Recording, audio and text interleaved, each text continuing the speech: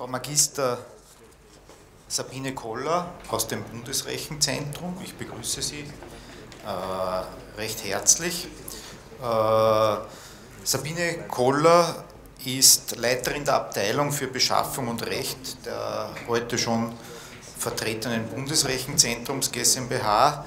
Äh, auch sie hat äh, das Studium der Rechtswissenschaften hinter sich, ein postgraduales Studium zu Einkauf und Supply Chain Management an der Donau-Universität Krems. Sie ist äh, seit 1999 Juristin, seit 2002 Leiterin der Abteilung Beschaffung und Recht in der Bundesrechenzentrums GmbH.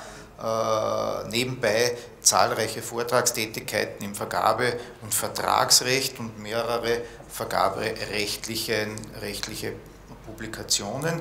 Sie ist äh, für mich persönlich bedauerlicherweise im Thema Open Source heute die einzige äh, Dame.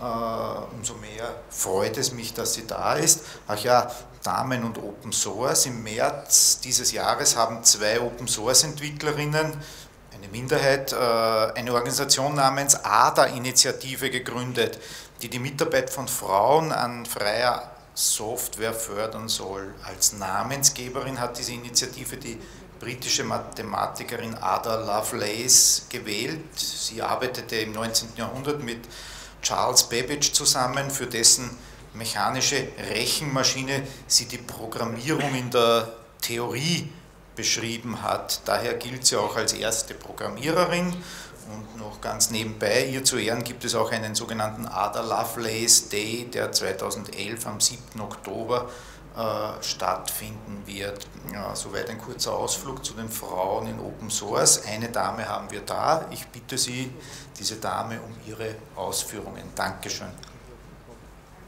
Schönen guten Nachmittag. Ich bin zwar nicht die Dame des Open Source bei uns im Haus, sondern das macht an und für sich eine Kollegin, die derzeit auf Urlaub weilt. Ich hoffe, sie würdig vertreten zu können. Ähm, sie haben schon gehört, dass die BRZ Open Source einsetzt und zwar nicht so knapp. Das heißt, wir beschäftigen uns noch nicht sehr lang damit, aber in dieser Zeit dafür sehr intensiv. Und das ist der Ausflug, in den ich Sie ne-, mitnehmen will. Wie, wie gehen wir rechtlich mit der Open Source Thematik bei uns im Haus um? Ähm, ja, das ist jetzt zu schnell. Äh, ich würde gerne mit ein paar grundsätzlichen Themen beginnen, bevor ich wirklich in die rechtliche Betrachtung einsteige. Äh, ich glaube, man muss sich auch ein bisschen beschäftigen mit der Thematik, wo sind jetzt wirklich die großen Unterschiede zu proprietärer Software, also Software, wo Urheberrechte von einzelnen Herstellern dahinter liegen. Äh, bei proprietärer Software bekommt man sehr oft den Source Code nicht zur Verfügung gestellt die Nutzungsrechte sind sehr oft sehr eingeschränkt verfügbar. Wir in der BRZ spüren das schon dann, wir verwenden sehr wenig Software ganz alleine für unseren Bedarf, sondern setzen sie insbesondere in Kundenapplikationen ein. Auch das wird schon sehr oft zur Herausforderung, das mit Softwareherstellern entsprechend vereinbaren zu können. Äh, Lizenzentgelt ist nicht zu knapp und es besteht eben kein Weitergaberecht. Das ist das, wo wir sehr oft zu großen, äh, was uns sehr große Schwierigkeiten macht. Bei der Open Source Software ist der Source Code verfügbar in einer für menschenlesbaren Form. So sagt man mir das, das kann ich nicht so verifizieren. Äh, die äh, Software ist uneingeschränkt nutzbar im Rahmen der Lizenzbedingungen, wobei sich die Lizenzbedingungen nicht so sehr äh, mit der Nutzung beschäftigen. Es ist kein Lizenzentgelt, fällt an und es gibt meistens keine Beschränkung in der Weitergabe.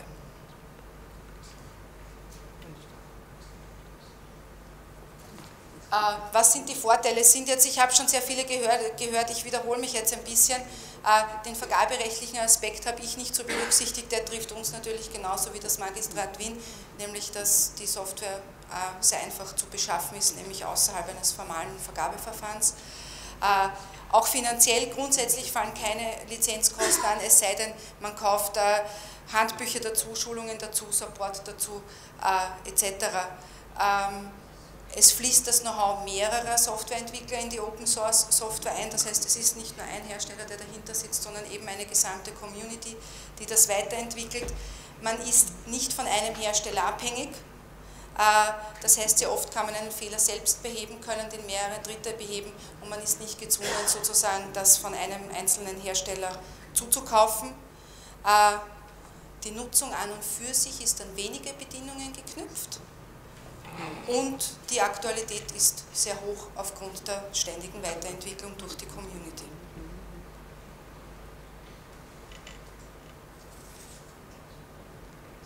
Äh, was es uns sehr schwierig macht als Juristen, ist diese Lizenzbedingungen rein rechtlich zu betrachten, weil die Lizenzbedingungen der Open Source extrem gutes technisches Know-how voraussetzen. Äh, also wir haben, uns, wir haben uns da durch sehr viele von den großen Lizenz, Lizenzen durchgekämpft, äh, abgesehen davon, dass sie eben sehr oft in englischer Sprache sind und das nicht so einfach auch ins österreichische Recht umzusetzen sind. Es ist wirklich, man braucht gute Kenntnisse zur Softwarearchitektur, um beurteilen zu können, welche Auswirkungen jetzt der Einsatz der Open Source, Open Source Software hat im Unternehmen. Äh, und äh, die technische Sprache und die juristische Sprache, die weichen oft massiv voneinander ab. Also da auf einen gemeinsamen Nenner zu kommen, wie etwas technisch, juristisch zu bewerten, ist, ist wirklich schwierig. Ja. Und es gibt auch, äh, wir haben versucht ein bisschen die, die Lizenzbedingungen der Open Source zu vergleichen mit äh, Bedingungen von proprietärer Software. Das kann man fast nicht. Die verwenden wirklich unterschiedliche Sprachen in den Lizenzbedingungen. Dazu kommt noch der starke Auslandsbezug. Die meisten äh, Open Source, die meiste Open Source Software wird angloamerikanisches Recht zugrunde gelegt, das einfach das wir nicht so gut kennen, mit dem wir nicht so gut umgehen können, nicht wissen, welche Konsequenzen das sehr oft äh, hat, wenn man das äh, in Österreich umsetzt. Und es, sind auch, es gibt ausländische Judikatur dazu, aber das heißt nicht, dass die in Österreich eins zu eins anwendbar ist. Und jetzt komme ich auch schon zu den rechtlichen Ausführungen im Detail. Wo sind die Risiken beim Einsatz Open Source, von Open Source Software aus rein rechtlicher Sicht? Äh, das größte Risiko aus unserer Sicht ist der Viraleffekt. Das heißt, es gibt eine Veröffentlichungspflicht äh, in den meisten Lizenzbedingungen, sobald man den äh, Source Code bearbeitet oder den öffentlich verwendet. Ich komme zu diesen Begriffen noch im Detail. Wie gesagt, was ich auch schon gesagt habe, dass die Lizenzbedingungen weitgehend aus dem angloamerikanischen Rechtsbereich stammen und sie daher kaum in österreichisches Recht zu subsumieren sind man weiß oft nicht, welches Recht ist jetzt einfach anwendbar. Und das, was sehr spannend ist, ist, wen kann man eigentlich klagen? Das heißt, ich, ich komme jetzt mit sehr vielen rechtlichen Ausführungen und es stellt sich in letzter Konsequenz immer die Frage, und wen klage ich? Die Community? Fast unmöglich. Ja? Also wir beschäftigen uns hier mit sehr vielen Dingen, die eher philosophischer Art sind. Äh, was auch passiert, also die, die, Lizenzbedingungen sind sehr intransparent, weil sie sehr techniklastig sind, noch techniklastiger als die von proprietärer Software.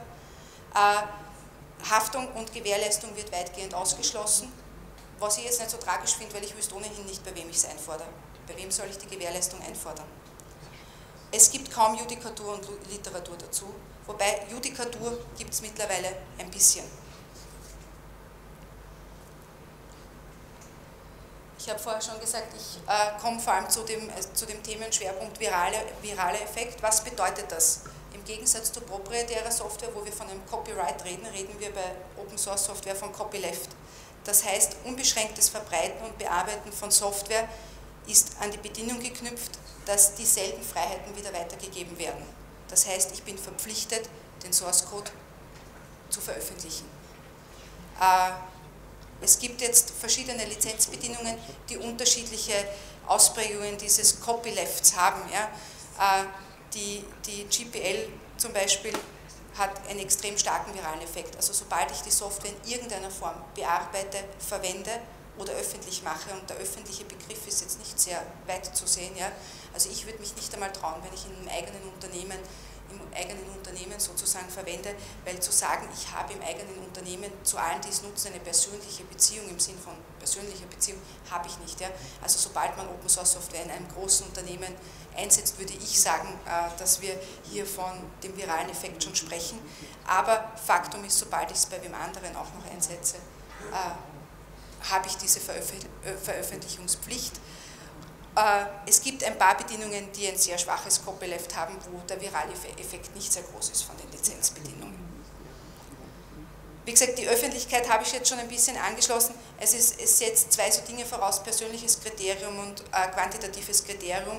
Äh, also wie gesagt, wenn Open Source Software jetzt nur in persönlichen Beziehungen weiterverwendet wird, da redet man aber eher vom privaten Gebrauch. Das ist in einem Unternehmen schon ausgeschlossen. Sobald ich die Software auch noch, die veränderte Software auch noch beim Kunden einsetze, muss ich das veröffentlichen.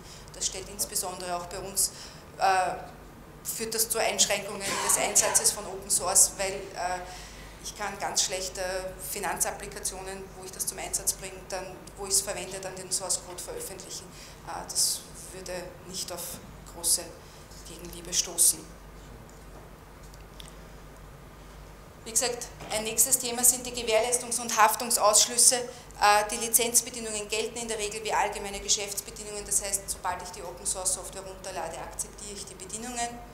Äh, ja, grundsätzlich, es gilt die Inhaltskontrolle, Konsumentenschutz ist nicht relevant, die Gewährleistung ist weitgehend ausgeschlossen, darf auch ausgeschlossen sein, weil die Open Source Software entgeltfrei ist. Haftungsausschlüsse für vorsätzliches oder grob fahrlässiges Verhalten sind zum Beispiel im österreichischen Recht nicht vorgesehen. Ja. Äh, die Haftung reduziert sich dann trotzdem auf Null. Ich sage nur, ich, ich finde das nicht so kritisch, das sehen jetzt ein paar Kollegen bei mir im Haus kritischer, weil ich, auch wenn ich die Rechte hätte, ich wüsste nicht, wen ich klagen kann. Ja. Und das ist das, die Thematik. Es ist auch unklar, ob die Produkthaftung, ob hier Produkthaftungsbestimmungen gelten, ja oder nein. Also der gesamtliche, gesamte, gesamte rechtliche Thematik ist wirklich sehr unklar, wie, wie, man, wie man das behandeln kann. Was sind die Risiken? Und zwar die rein rechtlichen Risiken, wenn ich Open Source Software einsetze. Entschuldigung. Äh, das größte Risiko durch die Nichtveröffentlichung ist Verletzung der Lizenzbedingungen, daraus resultieren Schadenersatz, Unterlassungsansprüche und vor allem Image-Schäden. Jetzt sagt man, okay, und wer macht das gegen mich geltend? Ähm, wie hoch ist die Eintrittswahrscheinlichkeit? Sie existiert mittlerweile. Ähm, es gibt findige Anwaltskanzleien, die äh, merken, dass man daraus Geld machen kann äh, und einmal einfach hier Klagen ansetzt. In Deutschland gibt es die ersten Klagen. Es sind Verfahren bereits eingeleitet worden gegen den Verstoß der Lizenzbedingungen. Äh, auch in den USA gibt es die, die werden dort auch medial sehr ausgeschlachtet, äh, weil es insbesondere Apple ist ein Betroffener, weil Apple sehr viel eben mit Open Source Software arbeitet und scheinbar nicht alles veröffentlicht, was sie dann damit tun. Aber es gibt noch keine, keine einzige Entscheidung zu der Sache. Also es gibt jetzt die ersten Gerichtsverfahren, die anhängig sind, es gibt noch keine Entscheidung dazu. Wie gehen wir also jetzt in der BRZ damit um? Ich glaube, eine Kollege hat schon gesagt, wir setzen Open Source Software ein, aber nicht nur im Justizumfeld, auch bei anderen. Das heißt, wir haben uns irgendwie überlegen müssen, wie gehen wir im Unternehmen damit um, wenn wir das einsetzen. Ich weiß nicht, ob Sie die, die Lizenzbedingungen kennen, die sind oft 20, 30 Seiten lang. Man kann also nicht jedes Mal, wenn man sich überlegt, setze ich Open Source Software ein, ja, nein, dieses ganze, äh, die ganzen Bedingungen prüfen. Das heißt, was haben wir gemacht?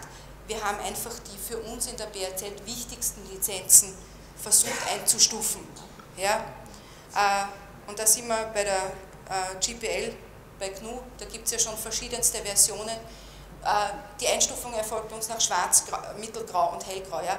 Also Schwarz heißt sehr starker viraler Effekt. Sobald, also wir setzen ihn nur dann ein, wenn wir nicht bearbeiten den Source Code, wenn wir nicht mit proprietärer Software verbinden, auch nicht mit anderer Software verbinden und wir kombinieren ihn nicht mit Software, die wir selbst in der BRZ entwickelt haben. Wenn wir die Software darüber hinaus einsetzen, dann muss wirklich der Einsatz an sich detailliert überprüft werden und vor allem dann, wenn wir, das, wenn wir diese Dinge tun, auch geschaut werden, besteht überhaupt die Möglichkeit, dass wir diesen Source Code veröffentlichen. Wenn wir das nicht können, dann nehmen wir Abstand oder sollten Abstand nehmen. Äh, es gibt dann andere Lizenzen, die in den dunkelgrauen Bereich fallen, aber auch da ist die Vorgabe sehr streng. Also Einsatz ohne umfassende technische, rechtliche Prüfung, das muss immer Hand in Hand gehen. Nur dann, wenn wir sie nicht mit proprietärer Software verbinden, wenn wir sie nicht bearbeiten und wenn wir äh, sie nicht mit von uns entwickelter Software in Verbindung bringen. Oder unsere Techniker sagen, ja, die Lizenzbedingungen sind so, trotzdem so, dass wir glauben, dass wir uns dran halten. Ich sage das sehr bewusst, glauben, dass wir uns dran halten. Es gibt dann auch eben noch Software im hellgrauen Bereich, die man relativ unbedenklich einsetzen kann, auch verwenden kann, weil sie nicht so strenge Vorschriften haben, was die Veröffentlichung betrifft. Äh, wie gesagt, äh, noch einmal zusammengefasst, aber das sind so die Bewertungsmaßstäbe, die wir haben. Sehr vereinfacht dargestellt, wird der Source Code nicht modifiziert, nicht mit anderer Software in Verbindung gebracht, dann ist der Einsatz okay und wird freigegeben. Passiert das Gegenteil, können wir im hellgrauen Bereich sagen, ja, Einsatz ist okay und bei allen anderen Lizenzen müssen wir wirklich im Einzelfall gemeinsam mit den Technikern überprüfen, halten wir uns an die Lizenzbestimmungen, wie können wir uns daran halten, was tun wir, welche Konsequenzen das hat.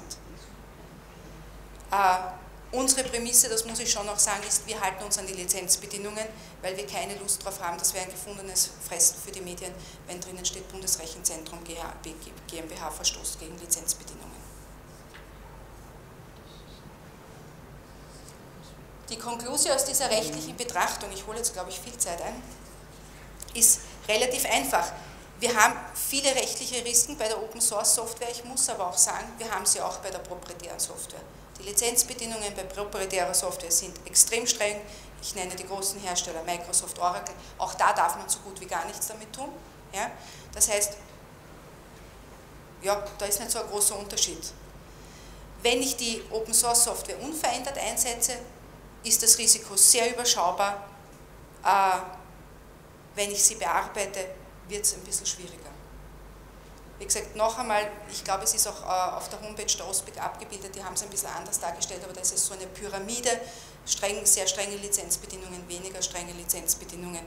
Äh, aber in etwa so gehen wir vor.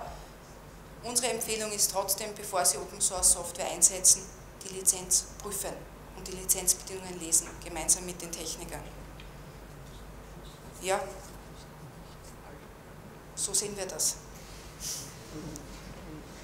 Thank you.